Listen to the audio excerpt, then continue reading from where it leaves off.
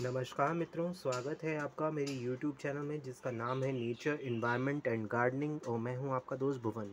तो आज हम बात करेंगे इस बेहद ही खूबसूरत फ्लावर के प्लांट की जिसका नाम है एमरलिस तो आप देखिए मेरे जो है बालकनी में गमला था और उसमें देखिए कितने सुंदर सुंदर कितने बड़े, आप देखेंगे ट्रम्पेट जैसे फ्लावर आ रहे हैं। ये देखिए, पूरे के पूरा गुच्छा यहाँ पर आपको नज़र आएगा। देखिए, कितने कितने बड़े फ्लावर्स आपको यहाँ पर दिखाई दे रहे हैं। तो देखिए, कितना भर कर ये आए हैं। तो इन बड़े फ्लावर्स को हम एमरिलिस बोलते हैं। और ये जो है, दक्षिण अफ्रीका का पौधा है। और भारत में इसको बहुतायत से जो है लगाया जाता है। खासकर ऐसा हाउस प्लांट और आप इसको बालकनी में लगा कर रख सकते हैं, आप इसको गार्डन में भी जो है लगा कर रख सकते हैं और बहुत कम मेहनत में आपको बहुत अच्छे फ्लावर्स इसमें देखने को मिलते हैं। अभी मार्च का एंड चल रहा है और देखिए, मार्च का एंड में जो है इसमें कितने सुंदर फ्लावर्स जो है आपको देखने को मिल रहे हैं। इसमें कई तरीके के कलर्स आते हैं, इसमें पिंक कलर का फ्लावर आता है, इसके अलावा रेड तो है ही है, उसके अलावा पिंक और वाइट कलर के मिक्स्ड जो है फ्लावर्स भी आते हैं। तो अलग अलग इसकी वैरायटीज़ आपको देखने को मिलती हैं। और बहुत ही ये हार्डी प्लांट है केयर फ्री प्लांट है। और लेकिन साल में सिर्फ़ एक बार, खासकर मार्च या अप्रैल में, मार्च के एंड में और अप्रैल में जब दिन बढ़ने शुरू होते हैं, तब इसमें जो है फ्लावर्स आना शुरू होते हैं। और बिल्कुल ट्रम्पेट शेप्ड जो है फ्लावर्स आपको इसमें देखने को मिलते हैं। देखिए, कितने सुंदर ये फ्लावर्स हैं। तो ये एक तरीके का जो है लिली जैसे रिलेटेड पौधा है। आप देखिए, ये पौधा है इसमें जो लीव्स हैं, ये बिल्कुल फ्लैट इसकी लीव्स आती हैं और इसके नीचे आप देखेंगे तो बल्ब बनता है।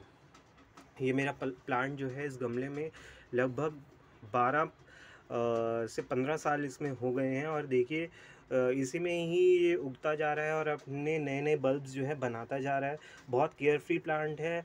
मैं इसको इवन कोई ज़्यादा खाद नहीं देता और सिर्फ़ इसको पानी देता हूँ, इतनी कम मेहनत में भी।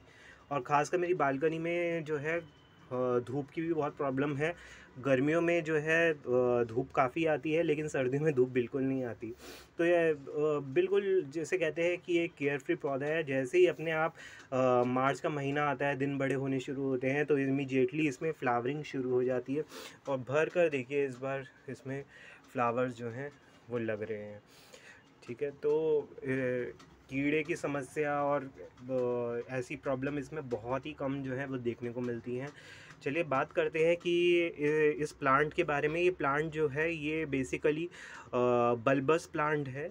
इसमें आपको नीचे बल्ब्स देखने को मिलते हैं और बल्ब्स के थ्रू जो है इसमें अगर आप इसको लगाते हैं प्रोपोगेट करते हैं तो ये उगता है और उसमें लीव्स आपको ये देखने को मिलती हैं, जो बिल्कुल फ्लैट लीव्स यहाँ पर आपको देखने को इसमें मिलती हैं।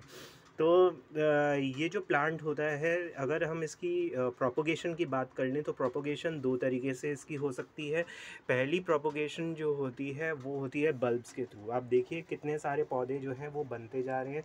नीचे ही इसके बल्ब्स जो हैं, उसके थ्रू प्लांटलेट्स निकलते जाते हैं और उसको आप यूज़ कर सकते हैं नया पौधा बनाने के लिए। दूसरा, इसमें सीड्स भी लगते हैं। जब, अभी इसमें फ्लावरिंग ओवर हो जाएगी तो यहाँ आप देखिए। ये देखिए, ये जो है ये फ्रूट बन जाएगा। और फ्रूट बनने के बाद जो है इसमें फ्रूट जो है जब सूखेगा तो उसमें आपको सीड्स दिखाई देंगे। खासकर ब्लैक कलर के फ्लैट पेपरी सीड्स होते हैं, जिनको आप यूज़ कर सकते हैं प्रोपोगेशन के लिए, उसको आप लगा सकते हैं। लेकिन जो प्लांट सीड से आप उगाएँगे वो बहुत धीरे उगेगा।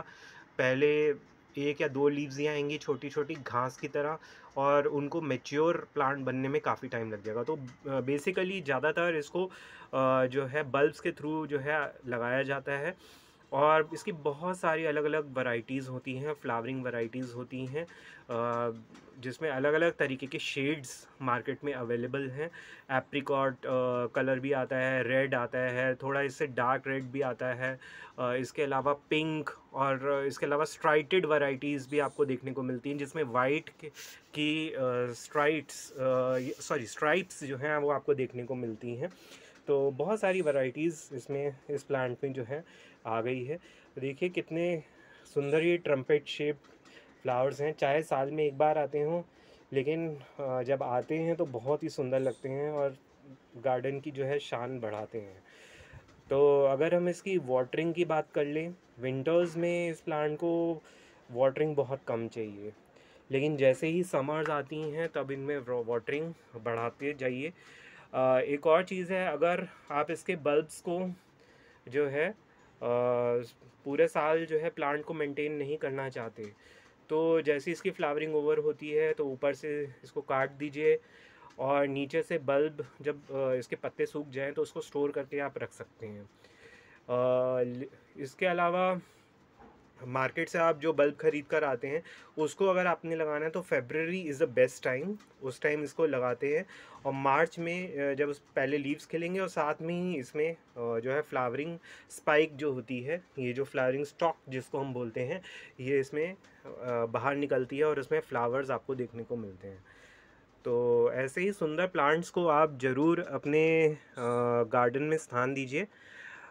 और इसी तरीके से नई नई इन्फॉर्मेशन के साथ में आगे भी आपके सामने प्रस्तुत होऊँगा। तब तक बने रहिए मेरे साथ में। मेरे चैनल को लाइक कीजिए सब्सक्राइब कीजिए और मेरी वीडियोस को ज़्यादा से ज़्यादा शेयर कीजिए। धन्यवाद।